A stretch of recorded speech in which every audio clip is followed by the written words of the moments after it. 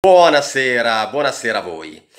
Allora, prima di parlarvi del titolo di questo video, così volevo un attimino eh, raccontarvi che oggi pomeriggio ho avuto modo di eh, leggere alcune eh, così considerazioni rispetto alla situazione che si è creata eh, nei vari eh, movimenti di, di opposizione e anche sui eh, canali YouTube ho ascoltato degli interventi da parte di youtuber anche molto, molto preparati che eh, descrivevano in maniera dettagliata eh, la situazione, i problemi che dovremo affrontare in, in autunno. E anche quello che eh, sta succedendo eh, per quanto riguarda le polemiche che so- sono venute fuori a riguardo di Sara Cugnal, eh, ma non solo, i commenti eh, su eh, Antonio Papalardo, alcuni di questi youtuber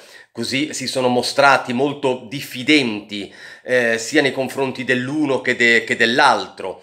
Eh, c'è stata questa diatriba tra Montanari e Sara Cugnal.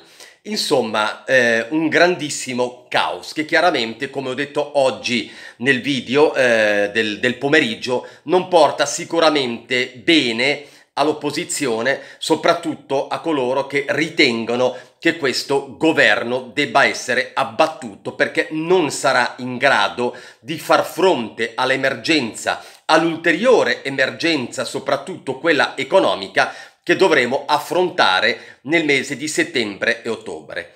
Tra l'altro continua questa pressione eh, da parte anche del governo per quanto riguarda il problema sanitario, eh, ci sono scienziati virologi che sono assolutamente sicuri che ci sarà un ritorno in autunno, mentre altri ritengono, e io ritengo che sia molto più corretto, di non poterlo dire perché non ci sono realmente gli elementi per poter dire se ci sarà una seconda ondata oppure no.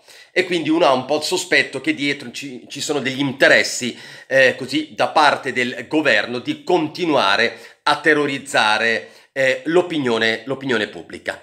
Però tornando un attimino eh, a queste eh, considerazioni che eh, così ho letto sui giornali e eh, seguendo vari interventi su YouTube, così mi hanno lasciato alcune riflessioni.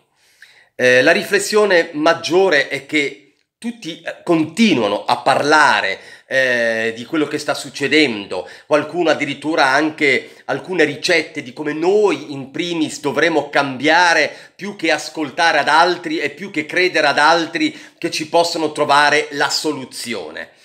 E questo da un certo punto di vista è anche così comprensibile e accettabile. Sta di fatto che però sta per arrivarci addosso un autentico tsunami e noi dobbiamo trovare perlomeno delle contromisure. A meno che diciamo, vabbè, non ci, abbiamo, non ci possiamo fare nulla, rimaniamo in attesa di quello che succederà, eh, non abbiamo le contromisure, non abbiamo le armi. Beh, io francamente non ci sto perché io credo, e l'ho detto più volte, che un tentativo bisogna farlo. È chiaro che il tentativo ha qualche possibilità di successo se ognuno da un certo punto di vista fa un passo indietro e capisce che solamente gli obiettivi comuni ci possono far ottenere la vittoria, altrimenti è evidente che siamo già perdenti in partenza. Ma veniamo al titolo eh, di, questo, di, questo, video. Ora, negli ultimi giorni eh, avrete letto che la Merkel sta facendo grandissima pressione affinché l'Italia accetti il MES che tra l'altro qui si continua a dire che ogni Stato deve essere libero di decidere, ma voi capite che quando una Germania fa questo tipo di pressioni nei confronti di un governo di sinistra che ha svenduto alla stessa Germania il nostro paese, è quasi quasi come se fosse un diktat. E questa è la riflessione che io faccio. Ora però, eh, così ho un'idea. Eh, Ora, eh, a qualcuno di voi potrà sembrare un'idea folle, ma vi assicuro che non lo è. È un'idea che io così vi sottopongo con cognizione di causa, perché insomma nella vita, bene o male, mi sono occupato per molti anni di economia e finanza. E se noi accettassimo di prenderci il MES? I 36 miliardi, tranquillamente. Sappiamo che li possiamo utilizzare solamente per la sanità. E già qui tutti quanti quelli che si occupano di sanità sanno che mai riusciremo a spendere 36 miliardi, anche perché francamente ci sono degli studi che dimostrano che basterebbero in questo momento nel nostro paese 4 miliardi per sistemare tante cose che riguardano la sanità. È inutile creare delle cattedrali nel deserto che poi non vengono utilizzate e non sono utili. Mettiamo a posto le cose che servono e per questo, ripeto, servono 4 miliardi. Quindi ne avanzano 32. Noi questi 32 miliardi non possiamo utilizzarli per altre cose, che sarebbe stato un pochettino più logico, no? Soprattutto perché sono soldi che arrivano subito rispetto a quelli che ha promesso l'Unione Europea ed è solo una promessa perché deve essere ancora ratificato e basta un paese dell'Unione Europea dire no e noi quei famosi 80 eh, milioni, scusate, 80 miliardi eh, di euro non potremo averli a fondo perso perché, ripeto, basta un paese che dica di no, mentre questi sono sicuri, questi ci sono immediatamente, non il prossimo anno. Quindi, ripeto, ce li prendiamo in ogni caso, non li possiamo utilizzare, ne utilizziamo solamente 3-4, 32 miliardi li teniamo lì. Li teniamo lì per le emergenze, perché vedete, nel trattato c'è scritto, c'è scritto che noi possiamo utilizzare questi 36 miliardi solo per la sanità.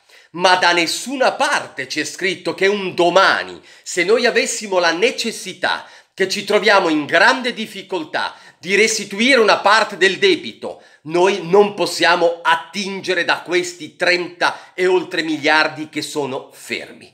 Questo è quello che secondo me noi dovremo fare. E a questo punto fregheremo la signora Merkel, che probabilmente avrà l'intenzione di mettere in crisi il nostro paese per eh, riuscire a controllare poi appieno l'Italia, un'Italia magari che non fosse in grado di far fronte ai suoi debiti. Noi ci creiamo un primo cuscinetto che ci dà l'Europa a tasso zero di 32-36 miliardi e poi un domani tranquillamente siamo in grado eventualmente di poter attingere a questo pozzetto che ci siamo creati per chiudere un debito. Questa è l'idea e vi assicuro, confrontatevi tranquillamente con economisti sicuramente molto più bravi del sottoscritto, ma vedrete che nessuno vi potrà dire che questa è una follia non attuabile. Con questo io vi lascio, vi auguro una buona serata e ci vediamo domani.